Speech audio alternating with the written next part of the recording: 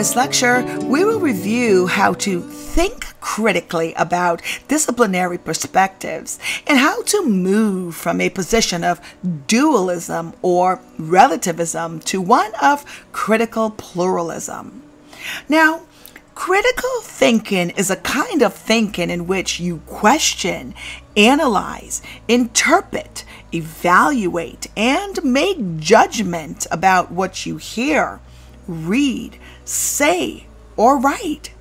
I want you to take a moment to think about whether or not you are a critical thinker. Take a moment. Do you question? Do you analyze? Do you interpret, evaluate, and make a judgment about what you read, hear, say, or write in a critical thinking manner? The term critical comes from the Greek word kritikos, meaning able to judge or discern.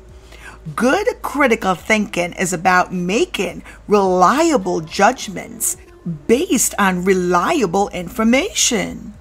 Applying critical thinking does not mean being negative or focusing on faults.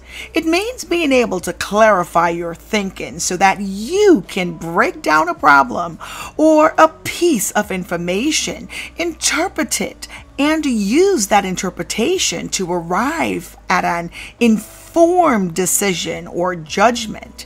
For example, designing a bridge, responding to an opinion piece, or understanding a political motivation. People who apply critical thinking consistently are said to have a critical thinking mindset. And I know you have a critical thinking mindset, but no one is born that way. So these are attributes which are learned and improved through practice and application. So again, people who apply critical thinking consistently are said to have a critical thinking mindset. Again, no one is born this way. So these attributes are learned and improved through practice, practice, practice, and application. So, what does it mean to think critically about disciplinary perspectives? Well, becoming interdisciplinary involves learning to think critically about disciplinary perspectives on subjects appropriate to interdisciplinary study. To think critically about disciplinary perspectives, it is important to have or be willing to develop a more sophisticated conception of knowledge that makes sense to the multiple and often conflicting perspectives and insights that one will encounter. So it's not only about thinking critically about disciplinary perspective, but also, you need to be able to be willing to develop a more sophisticated conception of knowledge that makes sense to multiple and often conflicting perspectives. You must, that is, come to accept that there is not always one right answer to complex questions, but rather different insights that reflect different perspectives and each contains some kernel of truth. I say this to my students all the time. You shall no longer think single dimensionally or or one dimensionally with rose colored glasses on. You are always to think in multiple psychological perspectives. And I say this to you now. You must come to accept that there is not always one right answer to complex questions, but rather different insights that reflect different perspectives, and each contains some kernel of truth. Now, Arriving at this conception involves three things. First, reflecting on your present epistemic position. Second, assessing your tolerance for multiplicity. And third, moving towards critical pluralism. Now, let's start with the first one reflecting on your present position. So, this refers to your understanding of the nature of knowledge and how you determine truth. When we go over these lectures, I want you to personalize some things, okay? I want you to learn from everything that we're talking about. Again, when we're reflecting on your present position, this refers to your understanding of the nature of knowledge and how you determine truth. Next, three positions include dualism, relativism, and pluralism.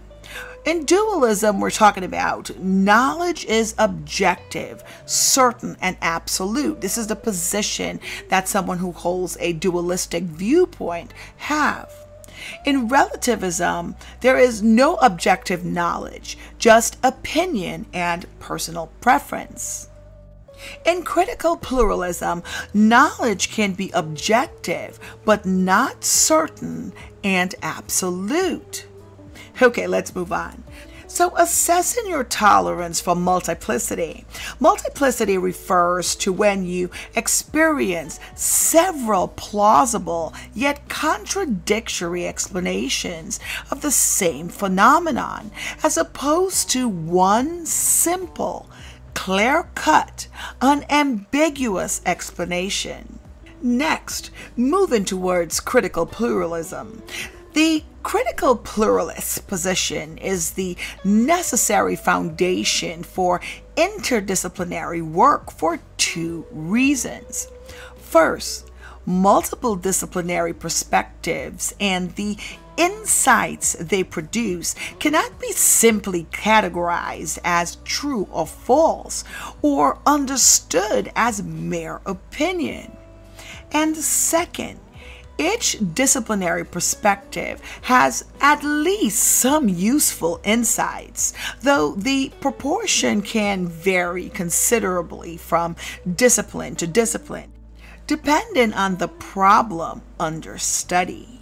Repko lists four ways on how to move from a position of dualism or relativism to one of critical pluralism.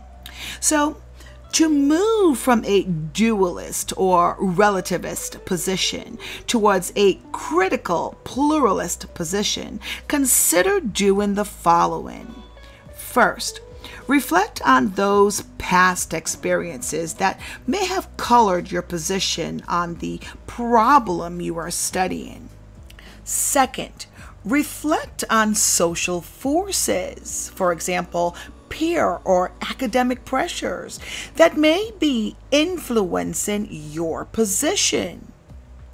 Third, temporarily set aside your position on the problem so that you can consider the views of others and the possibility that they may be as valid as your own.